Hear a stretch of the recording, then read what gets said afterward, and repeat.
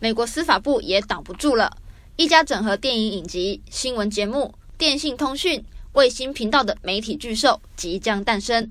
这只巨兽就是美国通讯巨头 AT&T 与媒体娱乐集团时代华纳并购案通过的结果。有资料显示，包含时代华纳的债务在内，是史上全球电信通讯业中成交金额第四高，达八百五十亿美元，更是所有领域中第十二高的并购案。时代华纳的美国有线电视新闻网 CNN、HBO、华纳兄弟影业以及华纳兄弟电视公司将全部归 AT&T 拥有。早在二零一六年，这起并购案宣布后，司法部以侵害消费者权益及反垄断为由起诉。司法部反托拉斯局局长甚至在今年四月时表示，有信心挡下这起并购案。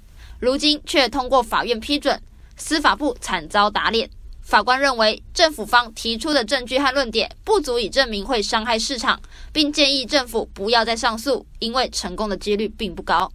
另外，备受瞩目的还有康卡斯特集团。将和迪士尼争夺收购二十一世纪福斯。康卡斯特五月时表示，若 AT&T 和时代华纳并购案通过，将提出六百亿美元，高于迪士尼的五百二十四亿美元现金收购福斯。美国民主党参议员预估，接下来会有一连串的并购与收购案。